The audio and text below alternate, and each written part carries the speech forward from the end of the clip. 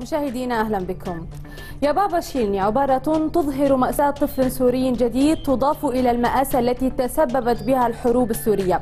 عبد الباسط طفل سوري فقد ساقيه كما فقد أمه وأخته الصغرى. جراء قصف استهدف منزله في بلدة الهبيط في ريف إدلب الجنوبي. تحت هاشتاج بابا شيلني. المستخدمون تداولوا بكل ألم مقطع صرخته المدوية وهو يستنجد بوالديه ليحمله بعد محاولته النهوض على قدميه لكنه تفاجأ ببتر ساقيه.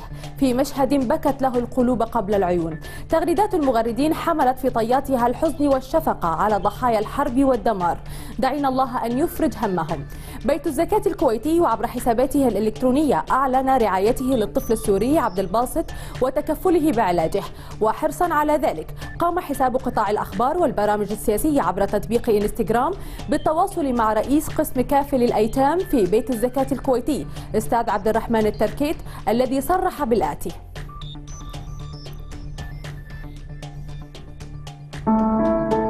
انطلاقا من رسالة الكويت الإنسانية. رؤية بيت الزكاة نحو مساعدة المحتاج ومد يد العون ومن بداية الأزمة السورية دأب البيت على مساعدة المحتاجين والمتضررين ومد يد العون والمساعدة. ومع توالي الأحداث حرص بيت الزكاة بأن يكون قريبا من المتضررين. وقد كان من أشد الناس تضررا وألما هو الطفل عبد الباسط الذي رأيتموه الذي سمع الناس صرخته التي نادى بها والده. بابا شيلني فما أن حمله أباه استقبله ممثل بيت الزكاة وتكفل أحد المحسنين جزاه الله خير بعلاجه وإجراء عملية جراحية لقدميه المبتورتين.